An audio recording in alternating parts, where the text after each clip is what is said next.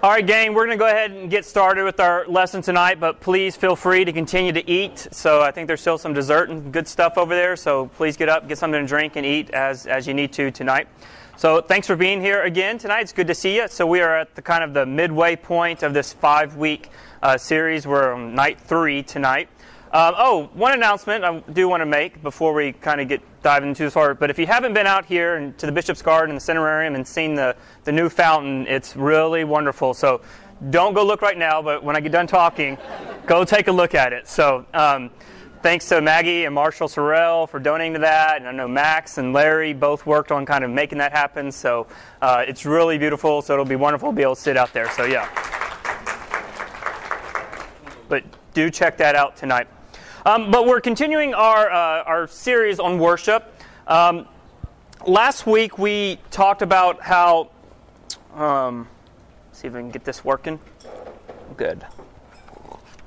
Uh, we've talked about how uh, what worship in the Bible looked like, and we and we kind of walked through that a little bit. And tonight, the highlighted night that we're looking at is worship through church history, is what we're looking at. So how Christians worshiped kind of over the history of the church. And if you remember from last week, just to kind of remind us a little bit, because this is where we're kind of picking up from, is that over the course of the Bible, God, with the Hebrew people and the Israelites, said, here's a tabernacle to worship in. They built a more permanent structure in the temple, and they went and offered their sacrifices there. They'd bring their animals and offer their sacrifices to God. Then over time, developed the synagogue system, where people could come and study scriptures. And then the early Christian communities, the things that they started to do to worship was they started to share a meal together, to meet together on the first day of the week and share a meal. And this is really kind of what the Bible talks about as far as um, um, what the, the early Christians were doing. Now, what we're going to be talking about tonight covers 2,000 years of history. So it's a long time frame, and because it is a long and big time frame, we are not going to cover everything. So, so yeah, thank goodness uh, we don't have to be here all night, and I don't know all about it, so I'll just talk about some of what I know about. But um, we are going to be kind of taking a big general overview over this time frame of really what we're looking at is how we got from those first Christians that knew Jesus and Jesus left, how they worshiped, and how we've gotten to today and how we worshiped, and what's kind of transpired in that in between time. So tonight we're going to be looking at kind of four big areas, errors of worship. We're going to be looking at the early church, we're going to be looking at the Middle Ages, we're going to be looking at the Reformation, and then we're going to be looking at the liturgical movement, or this is kind of the 20th century and what's kind of happened and how we are where we are today. So let's start with the early church. So remember, first Christians that knew Jesus, they were still going to the temple, they were still going to the synagogues, and they were sharing this meal together. They were kind of engaging in all three of those kinds of acts of worship. And so the first Christians, they kept, kept doing that. Well, in 70 AD, the, there was a Jewish revolt, actually before 70 AD, in 66 AD, there was a Jewish revolt, and they kind of up, rose up to throw off the Roman authorities, and they kind of had an independent kingdom, more or less, for four years until 70 AD, when the Romans got their troops together and they came in and they uh, kicked all the Jewish people out and they destroyed the temple. And so the temple worship ceased in 70 AD. So there's no more going to the temple anymore to offer sacrifices after 70 AD uh, which was a bummer for the Jewish people. And it was also for the, these early Christians that were still kind of going there, they're still seeing this as an important place to connect with God. They no longer had this place to go and connect with God. So the idea of going to the temple is gone now. But what the early Christians began to imagine, even before the temple was destroyed, what they began to think about and see is that as they look at the life of Jesus and what Jesus did and his sacrifice on the cross, and they started using that term as sacrifice on the cross, they began to see what happened with Jesus was what was going on in the temple. And that what happened with Jesus really re- replaced or fulfilled everything that was happening in the temple, all of that kind of worship. And so the early Christians, they were able to kind of easily move away from the temple, and it wasn't that big of a deal for them to, to say goodbye to that. Um, So, there's no more temple worship for the Christians. They start they see Jesus as the fulfillment of that kind of worship. Now, Christians are still kind of going to synagogues, but as you can imagine over time, if you got some Christians in the synagogue and you got some Jewish people in the synagogue, or you have some people in the synagogue that say, yes, Jesus is the Lord and the Messiah and the Savior and is the Son of God, and you have some other people in the synagogue who say, no, Jesus is not Lord, he's not Messiah, he's not the Son of God, there's going to be a big disagreement there. And so the Christians had to go their own way. Right? They were no longer allowed to continue to meet in the synagogues. And that's when you really begin to see uh, the formation of this distinct community or distinct church separated from the Jewish people. So they kind of say goodbye to the temple, they say goodbye to the synagogue in, those, in that worship, um, but they still have their meal.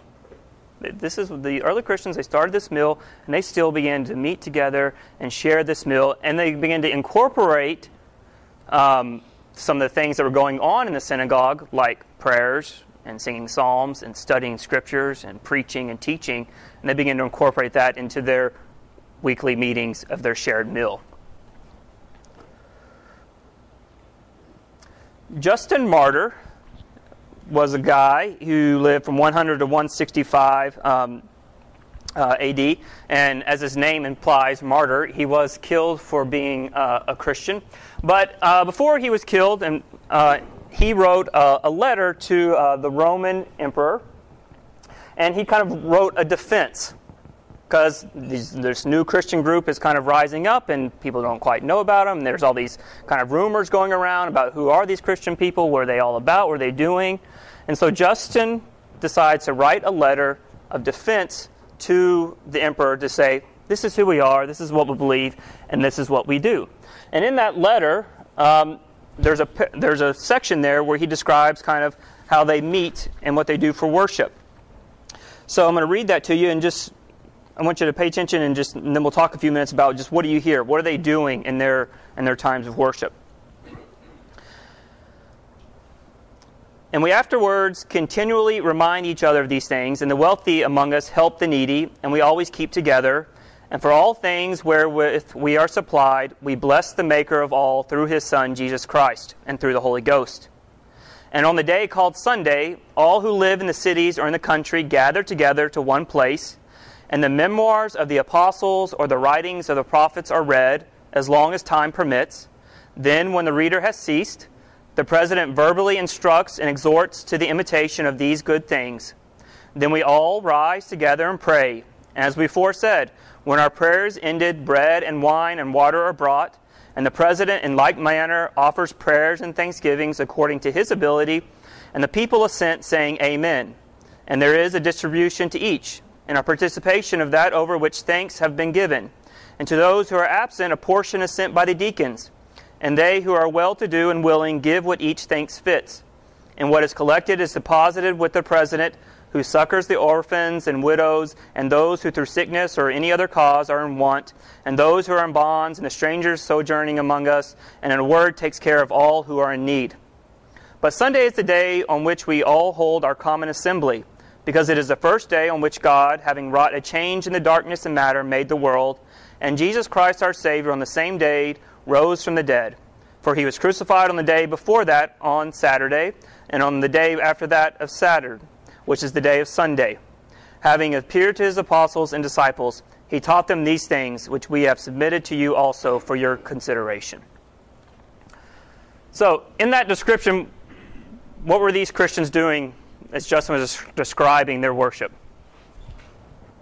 Well, they were worshiping until they ran out of time. All right, right. When it got time to read, they would just read until they ran out of time. So, you know, they might just read, and that was a common practice in the early church. They would read usually until the reader got tired of reading. So, which could be a long time. So, that's right, or a short time. That's right. So, no, no, no Super Bowl. So. What are some of the other things they were doing? All right, they had an offering. They had communion. Good. Prayer. There was prayer, singing.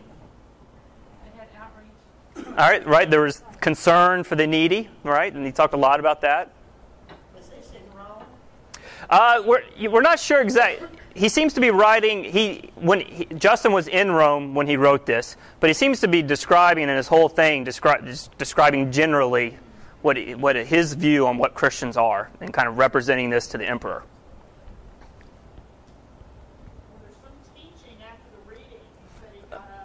Yeah, right. There's there's someone who gets up and talks about what was read, and it talks about exhorts them to the good things that they heard. Right. So there's some encouragement and challenge to, to live into these things.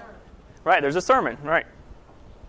And they they read all the scriptures. They read the Psalms and all of the other scriptures, same as we do. Mm-hmm.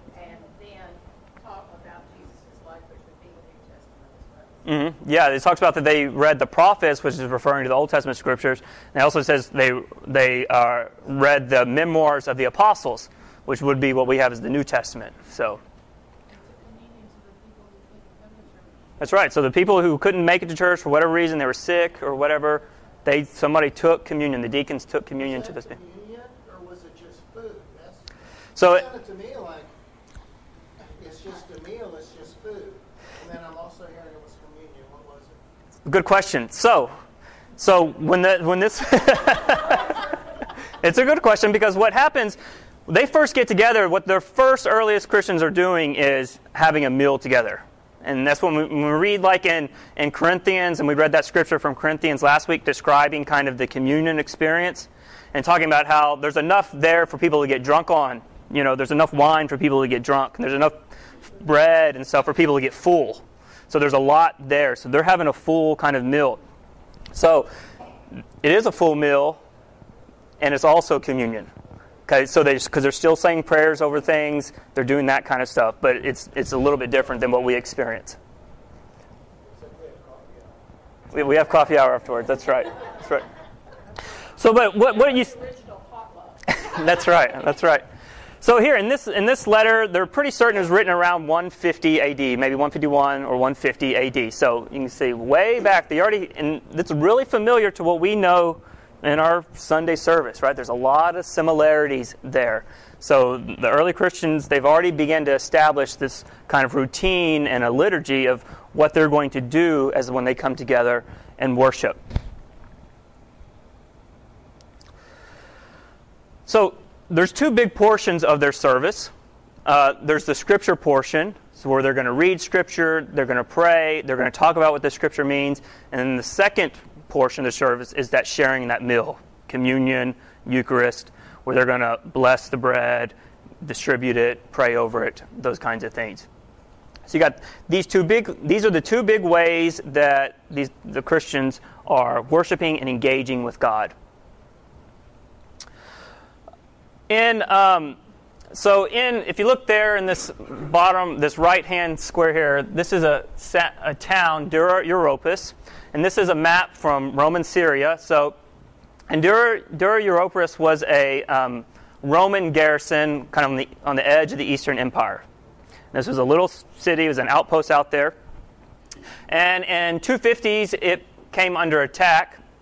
And to, in order to kind of prepare the city for the attack, the uh, Roman soldiers, all the uh, houses and businesses and things that were close to the wall, they filled it all in with dirt and sand and rocks, so to kind of make the wall wider. Well, in doing that, uh, they preserved those buildings because they filled it up. And so the earliest um, known church that we know of as a separate building is, was here in Dura Europos, that we actually have and know that this was a church building. Before what we know of is when the Christians first started meeting, they would still go to the temple, they'd still go to the synagogue, and then we'd get together in one another's houses to share that meal. And so the earliest Christians were meeting in homes as far as worship. They didn't have a dedicated building that they would go to to worship. So, but we know by 250, at least here in Dura Europos, that they had built a church. They had dedicated, um, not necessarily built, they think that this building was remodeled. That's what the archaeologists think. They think this place was remodeled to make to make it into a church, uh, to use it as a church. Um, but if you notice, um, well, let me ask you this. Let's see if I can get this to work. Yes, that's what I was going to ask you about. So good. So yeah, what do you think this is right here? So this is the font, the baptismal font. It's a baptistry. So this is where somebody would have been baptized. So if you, it looks like a bathtub, right?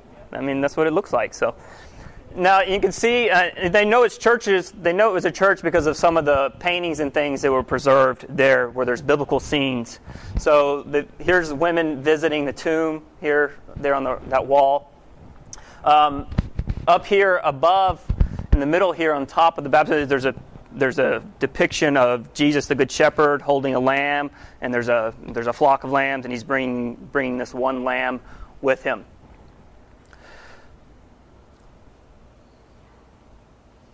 There. There, there was my arrow. That's what I was looking for earlier until Pat came. Yes. So, what do you think that is? So, so, but here's kind of a diagram to show kind of uh, more of how this church was shaped. So, if you can see there on the bottom right is the entrance. So that's the door. So you'd come in there, and then you come into a courtyard area, which would have been opened air. You know, so it lets a lot of light in. So over here is the assembly room, or this would have been the main room where they would have met together to have church, right? They would have read scriptures in there. Uh, they would have celebrated communion in there. There's a teaching area that leads into, and that's that room we were looking at the picture, the baptismal room there in the, in the upper right, the baptistry. So the um, earliest Christians, when they were, so they're kind of going around, there's not a lot of Christians, they're telling other people about Jesus. People are listening and believing, and they're like, hey, I want to be a Christian. So, what's the way to become a Christian? You got to get baptized. But they had a three year process that they would take someone through before you got baptized. Three years of instruction and teaching. And so that's what that teaching area is for. You go in there and you learn. Anybody who was interested in becoming a Christian could come to the church service. But when it got time for communion, they had to leave. They weren't allowed to witness that part or participate in that aspects. So while the everyone who was a baptized Christian partook of communion, a couple of leaders in the church would take all the people that wanted to be, get baptized and take them to another area and teach them about the faith and instruct them about in the scriptures, instruct, instruct them about Jesus, instruct them how they live together, how they care for each other, and then, after a time period, you got to go and get baptized. And immediately after you were baptized, you got to go and experience communion for the first time. And see, and, and you had never seen it before. You didn't know exactly what had happened. So it was a very kind of mysterious experience that they were waiting for and anticipating in a way to, to kind of connect with God. So that's what, it's not something that we kind of continue to do, but it was something that was important for them as they were um, bearing witness and training disciples, training people in, in the faith.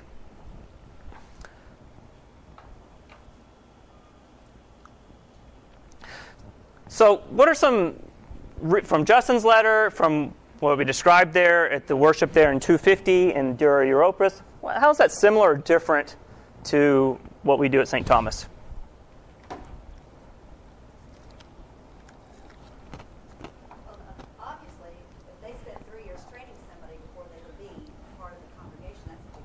Yeah. And that sounds like a pretty good idea so that they understand what That's right. That's right. Why they do that. Mm-hmm. Well, that went on for a long, long time. They had the catechumens that Mm-hmm. really were schooled and you just, you didn't, they were very serious about the Eucharist and, you know, just wasn't thrown out for That's right. That's right. that you were schooled.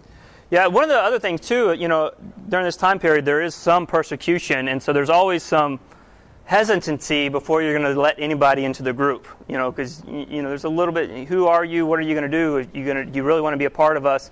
Because if we let you in and you all of a sudden can learn all the Christians, then it puts us all in jeopardy.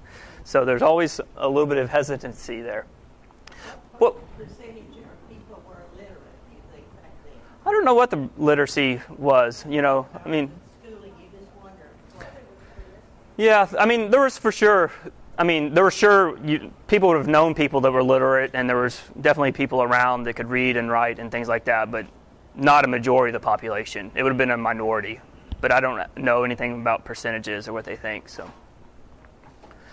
what about when you look at just uh, kind of the structure of the church?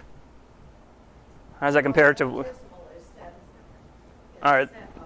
Yeah, there's a whole separate room. Some places, the baptismal font is at the entrance of the church. Mhm. We have ours up, up there. but Right. A lot of older churches, the baptismal font would be as you come in the entrance, Mhm. because it signifies the. Ours used to be back there. That's right. So- all baptized in the back. The assembly room is similar to the nave. Yeah, that looks very similar, right? Just a rectangular kind of space. They have a classroom, they have a courtyard for coffee hour. There you go. That's right. They got some similarities there. Uh huh. have no problem with the size of the baptistry. Okay. Was it by immersion? So this baptistry was, um, I forgot the exact measurements, but it wasn't deep enough probably to immerse somebody. And so probably what they did was pour, the person got in there and they poured water over the person. So like, you know, a bucket or a pitcher of water over, over the person. So there's, our records of what we know of how people are baptized are baptized in a variety of ways um, as far as whether how much water was involved. So whether it was all the way full immersion, somebody was pushed all the way under, or whether it was just water was poured, or whether water was splashed upon the person. I did not understand why our church started letting the little children take communion before they went through uh, all the rigmarole we used to go through then. For years, it seemed like uh, they had to go through instructions, and it was a big deal hmm when they did it, and then uh, took their first communion, and now, I don't know, I guess they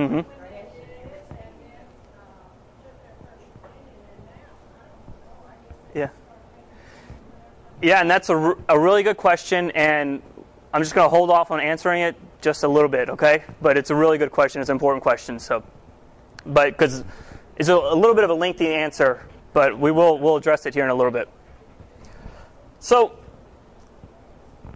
so we have an idea about how these earliest Christians were, how they began to uh, they met in homes first, and then they started building churches. But still, these were rather small places. So, like that assembly room in Dura Europos probably fit 50 to 60 people, just to give you a nice idea about how big of a place it was.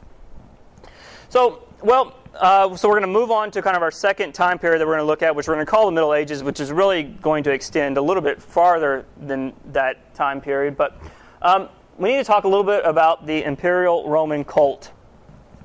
Um, so, uh, Augustus um, of Rome, there, he started asserting himself as a divine figure as he took over control of the Roman Empire and made himself Caesar, made, made himself into a dictator. Up to that point, Romans had uh, they voted and had leaders and things like that, and some of that continued on. But Augustus took control; he controlled the army, he could, and he started to assert himself as a divine figure. And emperor after emperor kind of kept that up, where they asserted themselves as being a godlike person and a person deserving of worship. Um, and some of this is that the emperors, they would especially make a big push after they took over, after somebody died and they took over for their predecessor, they would make a very big push and say, we need to pray for so and so, and we need to pray to so and so, and and um, you know he's a god, he's there with the gods now, he's going to look after us, so that and part of that their push to pray for their predecessor, so was that well, after they died, then they would be remembered and honored in, in similar ways. So part of and it's hard for us to imagine and understand because of our society where we have separate things where we have church and government and business and they're very separate kind of entities and back then it's all wrapped up together so you couldn't go you couldn't really engage in any kind of governmental functions without participating in the emperor, imperial cult without participating in worship to the emperor so any government building would have had a little place there for the emperor, and there would have been a place you go and burn some incense, you offer up your prayer to the emperor, and you do that. Now, Christians have a problem with this because they say there's only one true God and you are not it, emperor. And so this caused a lot of problems because they weren't really going along with the rest of society as far as business transactions, government transactions, because it all involved, you had to participate in these kinds of worship experiences. Um, uh, and so this led to this is where a lot of the persecution came from because of their refusal to participate in, in the worship of, of the emperor. So you kind of have this going on, and the Christians are, because of all this persecution, the Christians kind of have to be underground. They can't be really out, out in the open. Well, Constantine uh, becomes emperor. Um, before he becomes emperor, the, the empire is kind of crumbling a little bit. There's kind of four different people vying to be in control.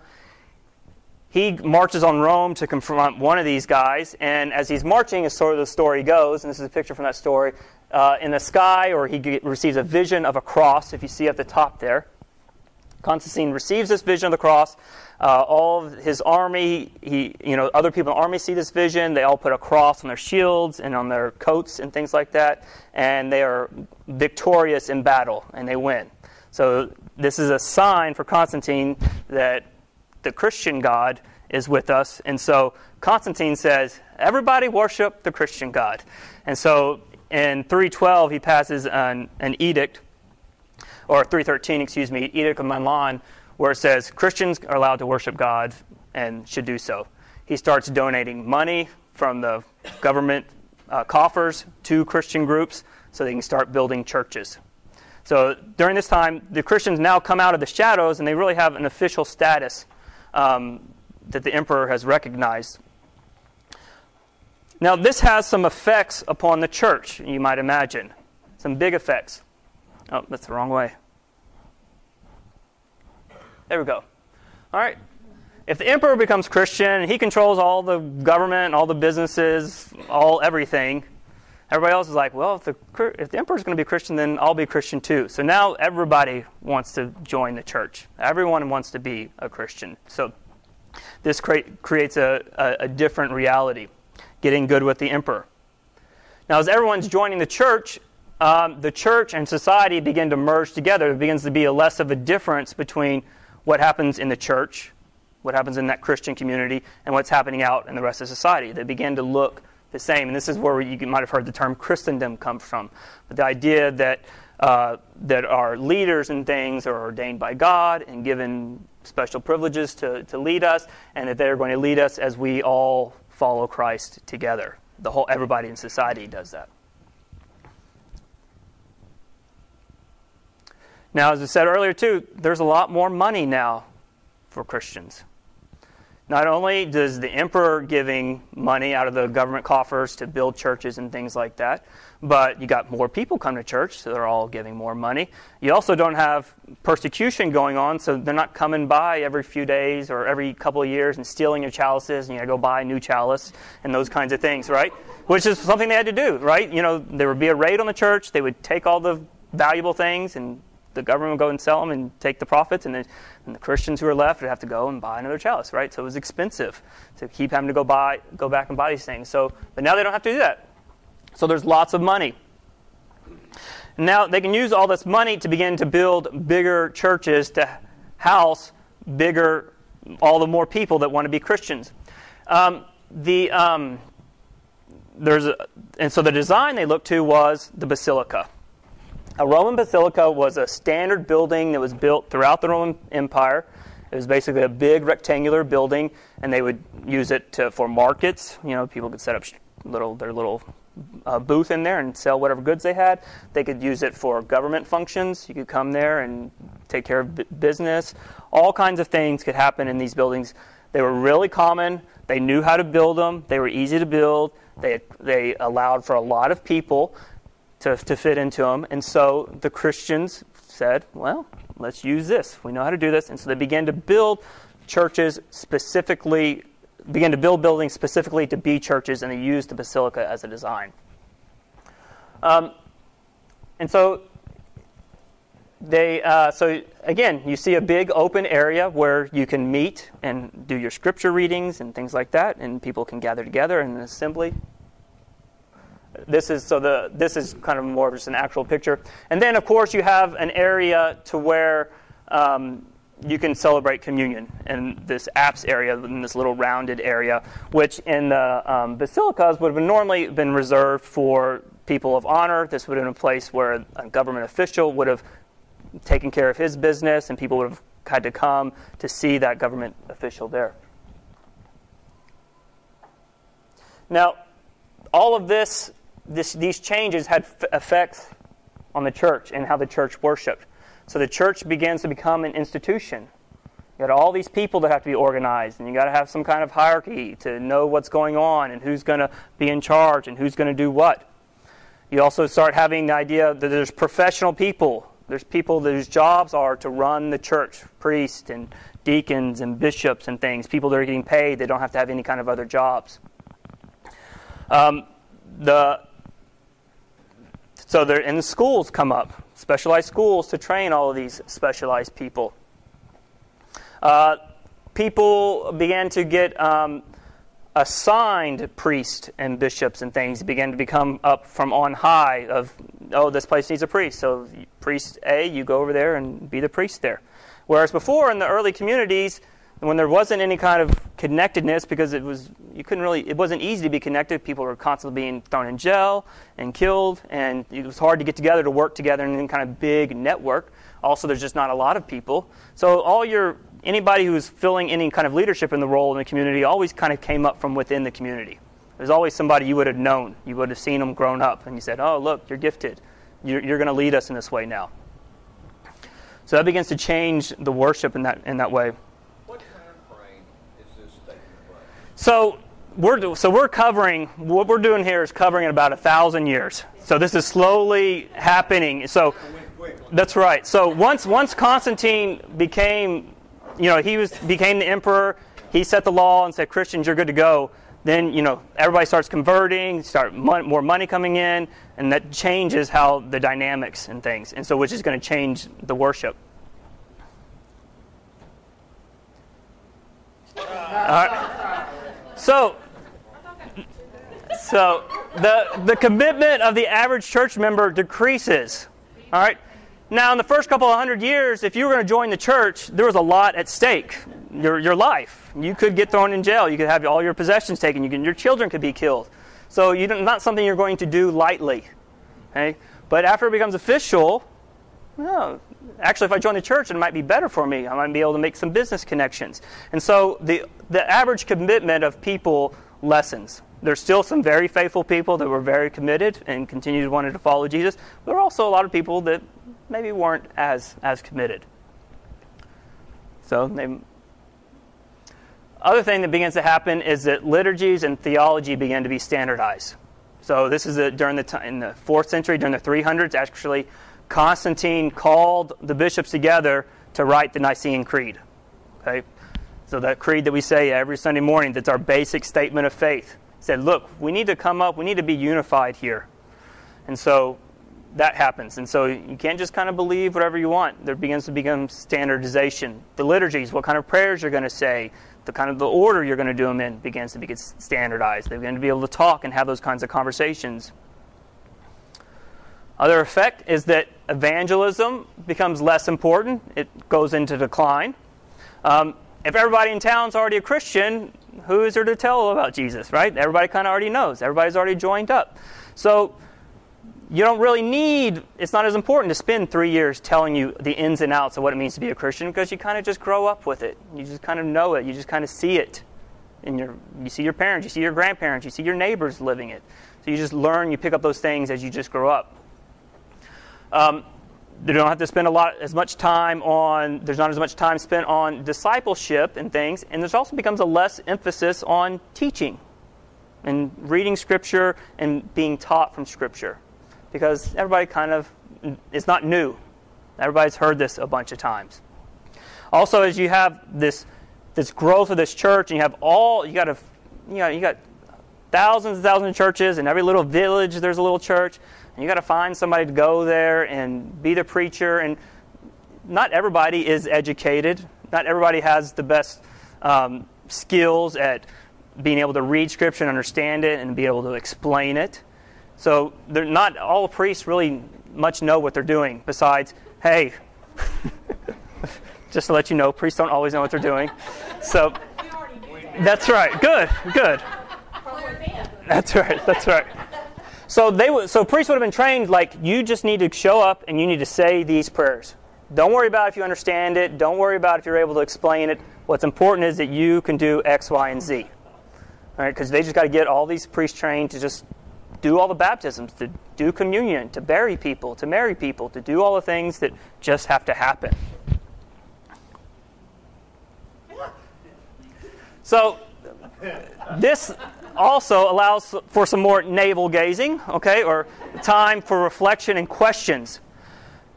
When everyone's a Christian, you don't really have any kind of outside threats to your existence. It's not, you begin to wonder and you can begin to think about things. You have more time to consider questions like, so when we, when we do communion, what, what's happening there? I mean, what's really going on there? Exactly how is it that God is meeting with us? Now, you know, if you're worried about soldiers knocking on your door, you don't have time to think about it. You just want to do the service, enjoy, and meet with God. Right? You don't worry about trying to figure those things out. And then begin to analyze and think about all the different elements that happen that we do in worship and, and begin to think about well what's going on there and how might we and what exactly do we need to do in order to make sure that it happens. So we got to figure out what happens in communion, and then after we kind of figure out and we figure out we think we know exactly what happens, then we got to know too what are the steps, what's the process we're going to go through so we make sure that those things happen, so that God will show up. You know, I'm going to stand here, I'm going to say this, I'm going to put my hands here, and if we do the right steps, then God is going to show up, and that becomes and during this time period, is there's no threats. You begin to have time to think about this. The church as a whole people began to, you know, kind of the idea of, of having theologians, people that just sit around and read scripture or fund, they have money, they don't have to worry about other jobs or things like that, to study these things and think about these things. Wow, we're, it's already set. All right, we're going to fly through some of this stuff. All right, so that kind of brings us up. So as you imagine that this development would cause some problems, and some problems did begin to develop in the church. All right, corruption began to take place as the church is so tied to political offices and things, and what the kings want to say. It's easy to get, you know, if the king wants to the right bishop in there to approve what his policies and things, you know, you can do that. You can sell those offices for the highest. You can you can just bid them out. You know, who's going to pay me the most, and you get to be the bishop. You know, and then the bishop can use that opportunity, his place of power, to to make money. So those kinds of things are going on. Uh, things got so fixed and standardized that they were still doing the service in Latin, even though that no one spoke Latin, because that's the way you do it. This is the way it's been figured out. We know if we do it, if we say these exact words in Latin, then we know God shows up. And if we change it, God might not show up, so we're going to do it this exact way. All right. Uh, also, during the, another thing that kind of was going on during this time too that led to the Reformation is that people became increasingly fearful of damnation and hell. They became overly worried about being condemned to hell. Lots of pictures are being put up in churches and murals painted and things that are all scenes of judgment and death and fire. All right? Now, you don't read, you go to church, and the only thing you see is pictures around you of people burning. You know, this is what you get worried about. You get concerned about what do I have to do in order to stay out of that situation because it looks horrible. All these pictures were very, very graphic. And so the purpose of any of most common people's engagement with the church was what do I have to do to stay out of hell? And that was their sole concern they were trying to work on. Now, these are some problems. Some people said, you know what, we need to fix this. We need to reform this situation. We've gotten off track because we we read in scriptures, we look, and we see that, you know, God actually does love us, we think. Pretty sure. We look at Jesus' life and Jesus isn't really talking that much about damnation, not as much as all these pictures seem to make it think it is. So begin to think about and realize that maybe the things and the direction the church is going on and its worship and things isn't exactly where we need to be. And so Martin Luther uh, is a monk. He uh, he's been thinking about some of these things. He goes to the door and he tacks up on the door 95 theses, 95 statements of things that he fixes for the church. Here's what we need to change and fix to make the church better. Well, this uh, unleashes a whole brouhaha. Okay, so all kinds of other people say, "Yeah, Martin, you're right. We do need to fix these things." And lots of other people said, "No, Martin and your followers, y'all are wrong. This is the church. This is the way we do it, and we're going to keep doing it this way." And so you begin to have divisions begin to grow, and separate churches, and there's all kinds of people. Uh, now, this Reformation, um, was two big things just were happening in the world that allowed this Reformation to really take root. Throughout that thousand years of Middle Ages, there were people from time to time that would rise up and say, Look, I don't think we're not going the right direction. We need to stop and we need to change it. But they might say something, and a few changes in a few places might happen. But in general, the big, massive church just keeps on trucking in the direction that it's going.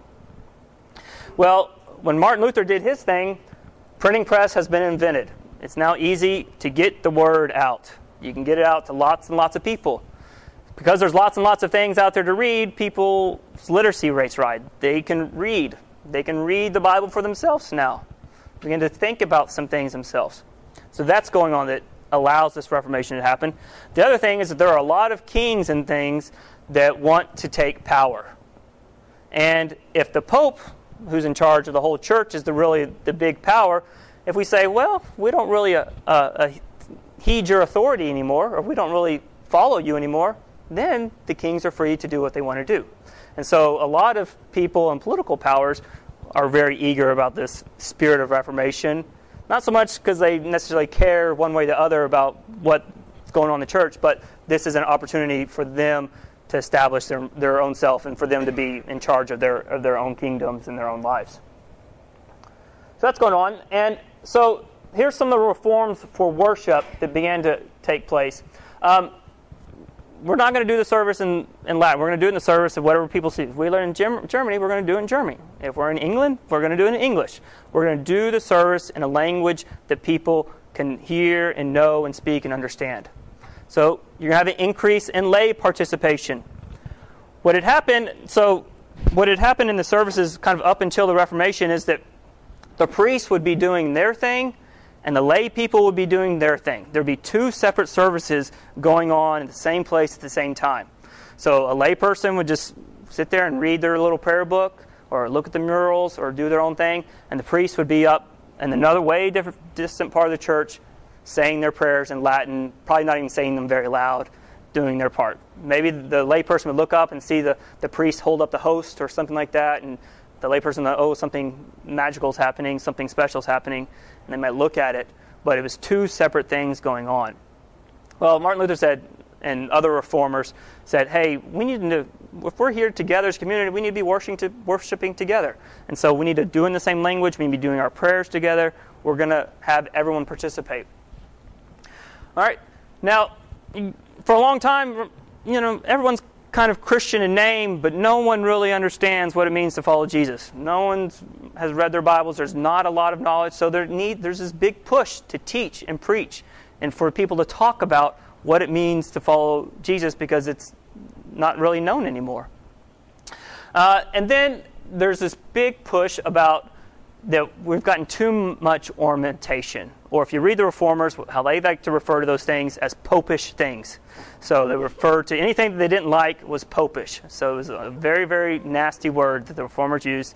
To, they, sometimes they called one another that because and called one another's views on things popish. But they saw anything that was kind of looked um, very grandiose, that looked like it resulted from maybe the bishops, what the bishops are wearing, and they're wearing these really ornate and golden and all these jewels and things, and it's like those bishops have gotten that wealth through not through good means by taking advantage of people, and so that's all signs of wrongness, and so they want to really push against that those kinds of things that are going in worship. Now there is. Um, the big question that all these people, so they're all kind of in agreement that what the, what the church had been doing was wrong and then we got to change it. But what they weren't in agreement with was how are we going to change it? And how different is our service going to look from what we've been doing? All right, some people said we're going to keep it really close to the same, and other people said we're going to change it very differently. All right, people that said we're going to keep it very much the same, Roman Catholic Church. And something to remember about that the Reformation formed the Roman Catholic Church. Before the Reformation, there was only this Western Church. No one called themselves the Roman Catholic Church. It was just the one holy Catholic Apostolic Church. After the Reformation, there becomes to be all these options of where you're going to go to church, and everyone's got to make choices. And so, and one of those choices was we're going to keep things pretty much the same. we're going to do some reforms because the Roman Catholic Church did in the Council of Trent in the 16th century did meet and for 10 years and made some significant changes in some of their practices. But a lot, as far as worship goes, they kept a lot of that looking the same. But they did change some things about as far as being able to sell um, offices like to be a bishop or a priest or selling indulgence and things. They got rid of a lot of that kind of corruption. So you got the Roman Catholic Church says we're going to keep our worship looking like it's been looking because this is what God wants us to do. Then on the other end of the spectrum, you have people like the Anabaptists who are going to say, no, we need to change all this. If it doesn't, if it's not mentioned in the Bible, we're not going to do it. You know, that's kind of their their philosophy. Which, as we talked about when we looked last week about how the earliest Christians were meeting and worship, we don't really know much about what their worship services looked like, what they were doing. There's not a lot there. So, if there's not a lot there in Scripture, their services, the Anabaptist services, means there wasn't a lot that they that they had going on in their services. Now, our our history in the Episcopal Church, as we're connected to the Church of England, on this spectrum, we would have fallen kind of like right here.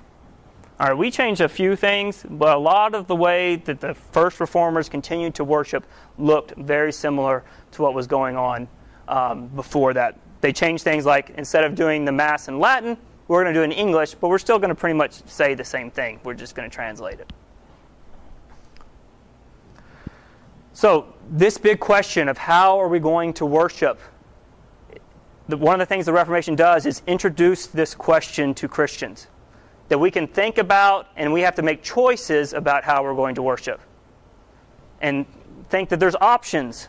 We can go to the Lutheran Church, we can go to the Presbyterian Church, we can go to the Church of England, we can go we can do it like the Roman Catholics do it.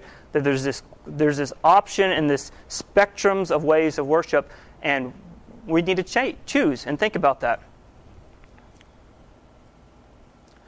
All right, the um, the Church of England answered that question by coming up with the Book of Common Prayer. They said, We are going to have a prayer book that details how we worship, that gives people guidance on what we do. It's going to be all contained in a single book. Now, before the Book of Common Prayer, there, would have been, there were books out that showed how to worship. There was a bunch of books. There's all kinds of different books. The Book of Common Prayer, one of the neat things that it did was combine these all these various books that existed and put it into one usable format. So you didn't have to have a degree in order to sift through seven books to figure out what a worship what you're supposed to do in a worship service. You just picked up one book. Lay people could just pick it up and see, oh yeah, this is what we do, and this is what we do, and this is what we do. John, what's the date of there? So this is a 1662 prayer book. So there were several different editions that started in the 16th century, but the 1662 prayer book became the big one. It is still the official prayer book in the Church of England. So they've had the same prayer book for, you know, going on 350 years, or how many? What are we? 400? Not quite 400 yet, but um, they've developed other worships. No, almost no one uses that because it's so old um, in actual church services. So, except when the you know the queen's getting uh, something's happening with the queen, then they'll use the old one. So, but in their Sunday services, they don't use it. Yeah, that's right. Some of us work with the book. That's right. That's right. Um, uh, so that brings us up to kind of today. So liturgical movement. Liturgical movement is something that's taken place here in the 20th century that has revolutionized or really changed significantly the way churches worship and think about worship, considering everything that happened during the Middle Ages and everything that happened during the Reformation. Um, it's something that not everyone realizes is that what what we are experiencing right now in our lives and in our worship lives, what's going on in churches, uh, not only in the U.S. but around the world, is there's a lot that's changing and there's a lot that's that's going on. And so it's important that we we know that. The 1979 prayer book is a result of the liturgical movement. It came about because of the liturgical movement. So let's talk a little bit about what was going on or some causes for this movement, this very this big push for us to reevaluate our worship. One thing is, during the 19th century, there was um, a lot of work done in discovery and collection and organization of early Christian texts. So we're talking about from the first few centuries.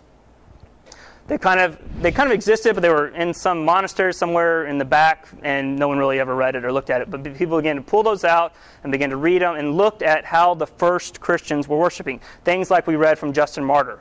And they would read through that, and then they would think about what they were doing in Sunday, and there was a big difference there. Other thing is that the ecumenical movement results of, one of the results of the Reformation was all these other churches started. There's you know all these churches, and we're all kind of divided, and people begin to say, you know what?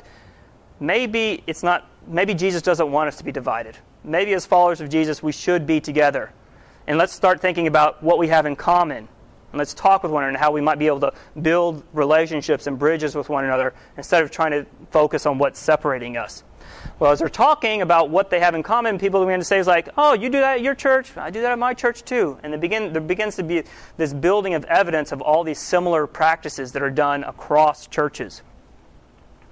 Uh, advancements in transportation, communication, globalization. We think about, you know, just over what's happened over the last hundred years and how we can be able to talk to one another and communicate with one another and understand what's going on in other parts of the world and share ideas and share things and go and visit places. Other big thing is that society no longer wants to be Christian. And this has been happening for the last few hundred years that people begin to move away from the idea that, hey, to be in a Western society, I don't have to be a Christian. I could be all kinds of other things. I could be an atheist, I could be a Muslim, I could be Jewish, I could be a Buddhist. And so, what happened in the Middle Ages in Christendom was society and the church came together, and what's happened here over the last couple hundred years is those things have split apart okay, which makes a big difference in how we engage with the rest of the world, how the rest of the world sees us, and affects how, how we respond in worship. Um, so, the liturgical movement, some of the big things that it focused on was that it began, as they looked at those early documents, as they began to share and talk with all these churches about what was everybody did for worship, they began to find some common themes and common things that everybody was doing and these first Christians were doing and that began to become the focus of things. They began to look at the deep structures of worship. So, an example of this is that um, uh, any, was anybody here, and this is just, please be honest, is anybody here taught a specific way of how you were to receive communion? I was taught several laws Okay. All right. So, Linda, you want to share?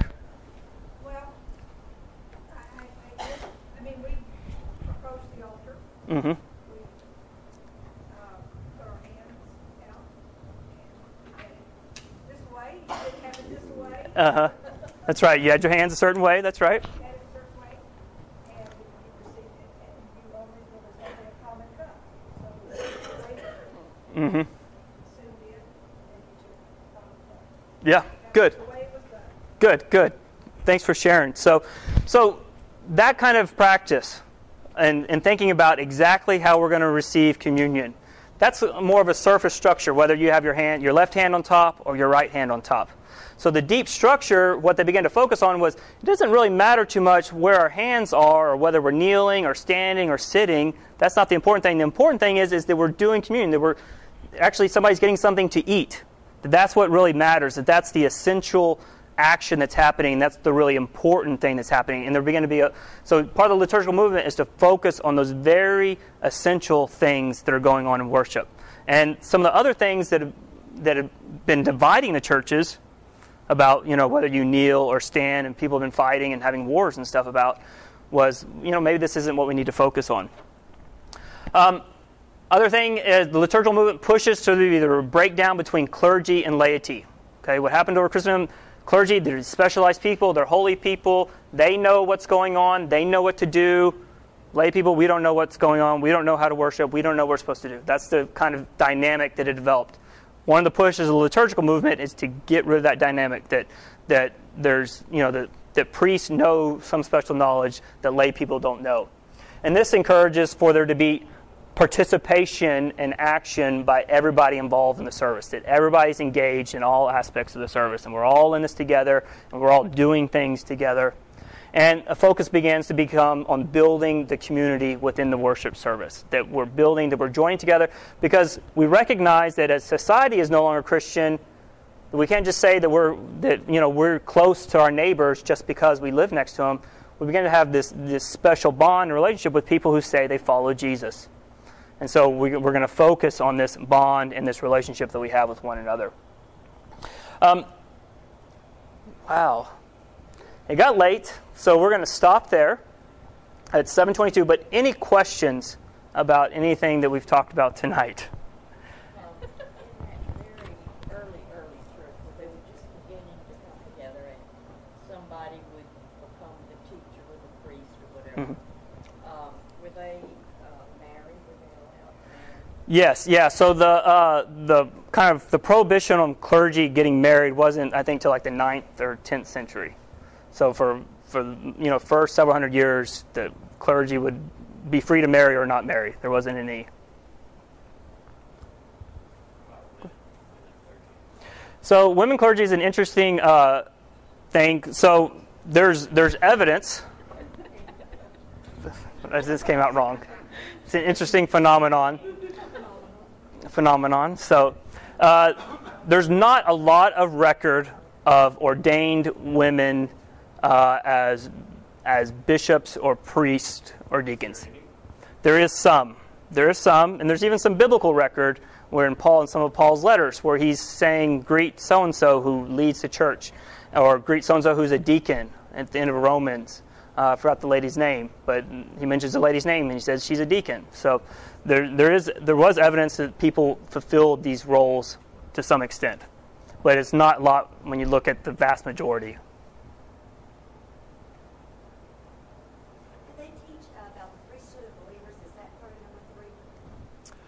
Uh, yeah, so so one of the so the priesthood of believers and really that phrase really took root at the Reformation and began to be really positive and, and we're going to look everybody has everybody can come before God that you really that you don't have to have a priest that a priest does certain things within the community but everybody can come and know God you don't have to wait for the priest to show up your house to say a prayer.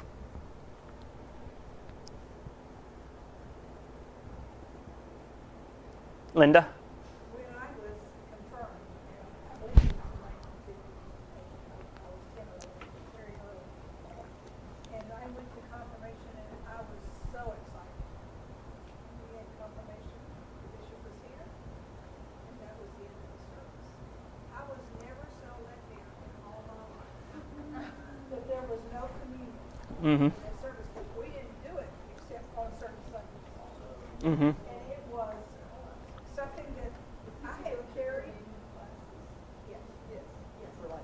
It's changed since fifty-one, and I. Yeah, So I, I will never, I mean, that's right. I've. Oh. Well, in, as, I, as I mentioned, the, the 1979 prayer book, our current prayer book, is a result of this liturgical movement. The idea of like having communion every Sunday as a result of this. And the next coming weeks, we're going to look at this service in detail, and so we'll be talking a little bit about what used to happen as we go through different parts of the service, what, how they used to do it, and then how we're doing it now, and why the changes, and kind of fleshing out some of these realities in specific ways in the service. So. I know I have Shirley's question from earlier still to come back to. Are there, are there other, other questions about anything specific to, to tonight? All right. Have gone longer than I told you, so if you need to go, uh, feel free to stand up and go. But I I'm going to answer Shirley's question, and then I'm still going to have some time to, for anyone to ask any other general questions about, about worship. So, Shirley, um, you asked earlier about uh, communion and how before uh, children used to have to go through a series of classes in order before they could take First Communion. So, this is a result a little bit about the liturgical renewal movement, why we no longer do that, and why we permit children, once they're baptized, to participate in communion. So, uh, what began to, uh, so when you look back at the earliest Christians in this first few hundred years, the practice was anybody who was baptized, whether you were a month old or 100 years old, you got to take communion once you got baptized. So, in those first first couple of hundred years, you know, you adults they would go through that that process, that three-year process to get baptized and then be admitted to communion. When adults would get baptized, their children would get baptized as well, and then they would be permitted to enter into the the community and participate in communion. So when we got into the Middle Ages and as time went on, um, they began to say, well, you know, there's no adults being baptized anymore because everybody in town's a Christian. We only have infants being baptized. But, you know, we probably should still teach them something and make them wait a little bit for something, right? We can't just give everything to them right now. So we need to have something that we're going to hold off from them until we can teach them a few things about God. And so that's when the idea of First Communion kind of began to rise up. And so we're going to wait till children get to a certain age, we're going to teach them a few things, and then after we teach them, then we're going to give them communion. So, big push liturgical renewal movement was to begin to think about well, what are we exactly doing at communion? What's it there for? You know, and one of their answers was it's there for us to meet with God, it's there for God's people to meet with God. Now, also during the Middle Ages and, and even after the Reformation, the big focus was we got to try to figure out what's going on. And if you don't understand all the ins and outs and how it exactly works, then you, you shouldn't take communion, was a big teaching. And so kids, they don't, they don't know anything, right? So they can't do it. So we're going to hold off communion from them for, for that. Um, but as we, the liturgical movement kind of pushed back on that idea to say, no, it's not what's what important. What's not a it is not primary focus when we do communion for us to understand exactly how God is present with us. What matters is is that we do it and God is faithful to meet with us during that. And so one of the things that we want to confess now as, is that when we give children who are baptized, whether one year old or two year old, when we give them communion, that God is at work in their lives, that God's grace is being flourished into their life, that God's Spirit is working through that moment, whether or not that child understands what's going on, whether or not we understand what's going on, whether anyone else understands what's going on, that God and that child are meeting together. And so, again, the focus isn't, you know, focus for a long time in the Christian church was we got to figure out how it works. And what we're not, what we're trying to get away from is focusing on that, how it works, and just do the worship, just be with God. That's the, that's the, that's the priority. Does that help? Mm-hmm. Yeah, I can see that, but I think, uh, I just remember how excited our children, Mm-hmm. and they hated going on Saturday. Yeah. to uh, communion lessons. And, but they got so much out of it. And I had a child go to Baylor, which is a Bible school more or less, and I thought, oh dear, she's gonna flunk out. And lo and behold, she made a good grade. So she got it all from all that stuff she had been real, know, Uh-huh. Yeah, yeah, and I think for sure we still have to. We want to have a priority of teaching our children about the faith, about Jesus, about scriptures. Uh, what we want to be careful about is making that you have to know certain things before you can meet with God in that way, because it also raises up questions for uh, people who have low IQs or mental retardation, who who are who do not have the ability currently to understand these things, and of us truly understand? and that's the other question too.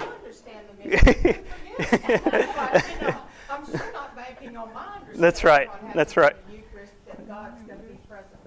Right. But one of the things I want to share. Sure. We really struggled with this because we were in that era, Mm-hmm. you know, when all of this, many of you are used to their, your children.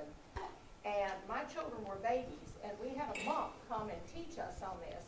And the thing that really stuck with me is he looked and he said, now let me ask you, do you eat as a family? And of course, in those days, we did sit down and eat as a family. Today, that might not be a question, but said, and do you wait until your children have perfect table manners before they come to the family table?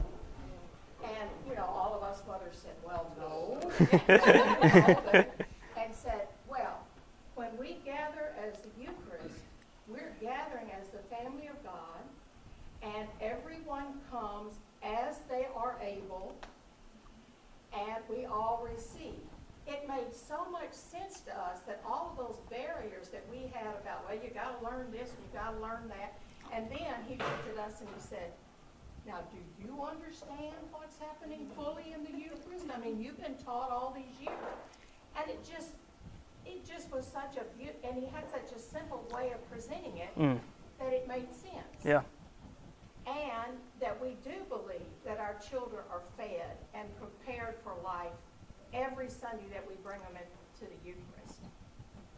I mean, Yeah. you know, and, and, uh, I think so often in the church, we think that with our minds, we're going to understand God's actions. If we stu- I don't, don't get me wrong, I believe we need to study and be taught. But I think so often we think we can control God if we can understand Him. And if I, if my dumb brain could understand, we have not got a very big God.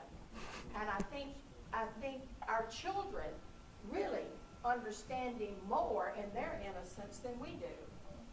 You know, the questions that they ask are just wonderful. Mhm. And the way they receive without earning it, Mhm. you know. But that question for me just, just cleared up everything, because I was taught hard line, That's right. you know. Yeah, but you, uh, but Mary, you, I mean, I think what she says some great points, and then even just your, I mean, this this all this stuff is recent. I mean, it's within your lifetimes about doing this push, about this prayer book, about these ideas, and this is still unfolding and taking place. I mean, in some sense, you know, I was I was born in 1980, so I. So my, my entire existence is post 1979 prayer book. So it's just now priests that are my age or younger that are in situations that have, a, have been taught in the seminaries that are teaching this way. Because even seminaries, it, it take a while for liturgical professors to retire, and, but they were still teaching based on the old prayer books and things, and not kind of the new things that were going on. And so there's a lot that's going to is continuing to unfold and questions that we're continuing to have to deal with because of because of this. But it makes it a challenge for us because it's it's easier if it's just all already figured out and we know exactly how to do it. But we have all these things, these com- this competing tradition and history and ways that we've all communed and connected with God and worship, and that's all kind of being questioned right now. And some of what we have to do is to deal with those questions. So. I have to tell you that when it happened, it was when her sister was uh, a baby. I mean, she's just two years older than Anna Maria. And so I said, I'm taking her up there, and I knew Bill would give her the Eucharist because we just said we would, and he, would- he said, any baptized child that holds their hands out to me, I will give them the Eucharist. And so Aunt Mary Teresa went up and she, she took it that time, we had the wafer, she took the wafer and then her daddy gave her a little bit of the wine. And then she turned around like this and she jumped off the pew and she said, Yuck, I hate that blood and blood of Jesus. I thought, oh, the best laid of life. That's right. Um, any other, any other, any general questions about anything as far as worship goes? Yes. Um, I just wonder, you know, we are changing so much, and I'm not saying it's right or wrong, Mhm. but when do you say that traditions should not be followed because,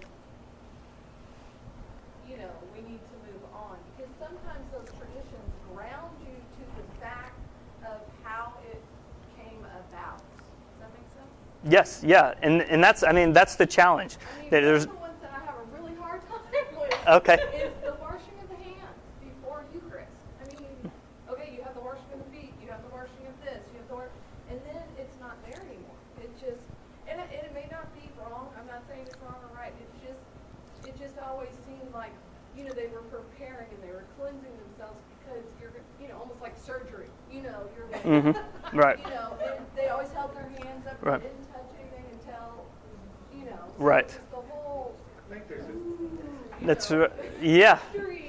Yeah, so so two questions there. So your your larger question is how what's how do we find balance? And that's a tough thing. And that's why that's why the things it takes time for these things to unfurl and for us to have discussions and think about and it's not easily that's I mean, we're talking about the 1979 prayer book, which is a prayer book that's over 30 years old and we're still kind of wrestling and coming to terms what is contained there and what it's asking us to do and live live out our lives. So so there's not easy answers, sorry. So but so but so what's right, but so what, what we have to do is continue to have discussions about it and what we want to think about is as we think about the kinds of worship experiences that we're going to create is what are we asking people to do and how does that allow people to connect with God? How does it allow us as a community to come together and connect with God? And so there's going to be certain parts of it that each of us might really like and some of it that we don't really like and but we got to kind of come together in some kind of unified fashion to agree that as far as our corporate worship we're going to this is how we're going to go about it so uh, Do you want me to talk about specifically about the washing hands? Okay. All right. Yes. So, so the so the washing of hands it developed within the history of the church as because you're going to do the communion. This is a really special time, and you're going to do this outward act of cleansing hands while you do this inward cleansing of your of your soul before you prepare to do this this holy thing. Um, so the reason that I don't do it is because I don't want I, I'm trying to get away from um, making any demarcation between the things that we do at communion time as being holy or as more holy than what other things we're doing in the service. So, you know, I think the reading scripture is just as important as doing communion or the sermon or the prayers or the um, singing. What's that?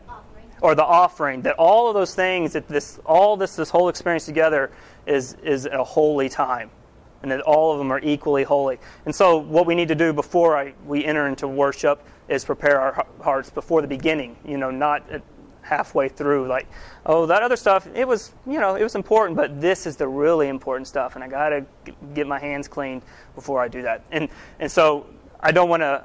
I think it kind of sends that message, and so I don't do it to not send that message. So, if that makes sense.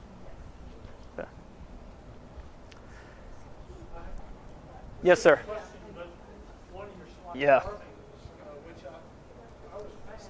Yeah, there's a whole. There's been several times in the his, oh that the 2,000 years that hurt in various places where people have said we can't have all these images. We got to get rid of them. And often there was violence done to get rid of the images. Like let's go break all those stained glass windows. Let's cut things up. Let's burn them. Because and some of the thinking was we're creating all these idols. All this stuff is idols, and we're not supposed to worship idols. We're only supposed to worship the true God. So that's some of the motivation behind it. Um, of the positive of having those things is, well, we're not worshiping those things. Those things are there to aid our worship and to guide our worship. So, well, I'm gonna. I'll I'll still be around if anybody wants to talk about more questions, but I'll dismiss everyone else. Be sure to go by and see the fountain, and we'll be back here next week.